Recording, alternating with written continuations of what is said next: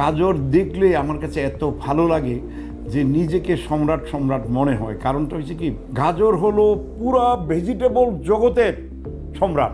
মানে এত গুণ তার, এত vitamin A B C D E সব ভিটামিন আছে গাজরের ভিতরে। মুখে ঘা হয়েছে ঠোঁটে ঘা হয়েছে জিভে ঘা হয়েছে মুখে ফুসকুড়ি হয়েছে আপনি একটা গাজর একা চাবায় খাবেন, কিন্তু চামড়া ফেলতে পারবেন না।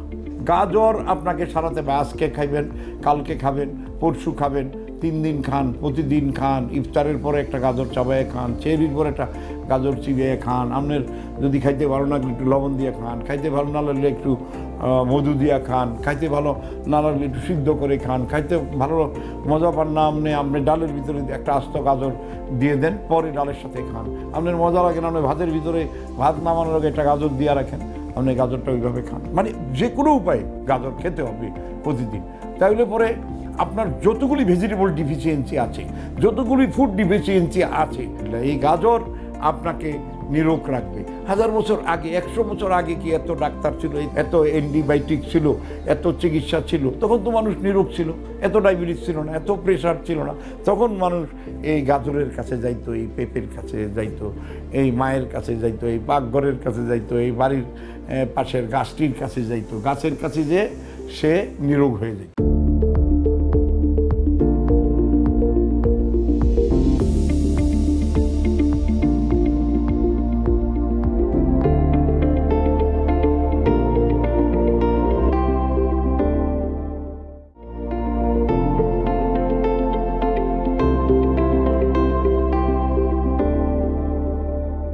অস্বাভাবিক গরম।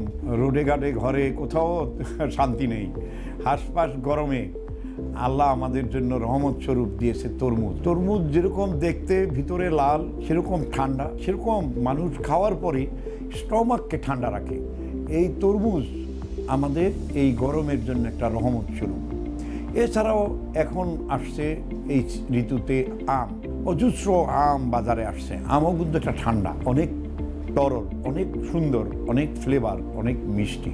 তবে যাদের ডায়াবেটিস আছে, তারা খুব পরিমাণ মতো অল্প অল্প করে আম খাবেন আম আমাদের একটা বিরাট সম্পদ। সারা বাংলাদেশে সুমিষ্ট আমই ভরে গেছে। আম আমরা দিনের রাতে চব্বিশ ঘন্টায় আম খেতে পারি। যারা আম খাবেন, গোসলের পরে যদি আপনি আম খান, তাহলে পরে আপনি অনেক বেশি বেনিফিট পাবেন।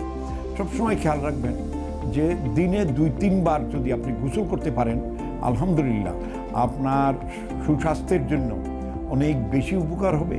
এই গরমে থেকে আপনি মুক্তি পাবেন। আর এই গরমে সবচেয়ে বেশি খেতে হবে লিকুইড জিনিস। লিকুইড বলতে আমি বোঝাবো পানি, শরবত, ডাবের পানি যে কোনো ধরনের জুস। তবে যত বেশি তিতা স্বাদ আছে, সেই জুসটা আমাদের বেশি কাজ করবে।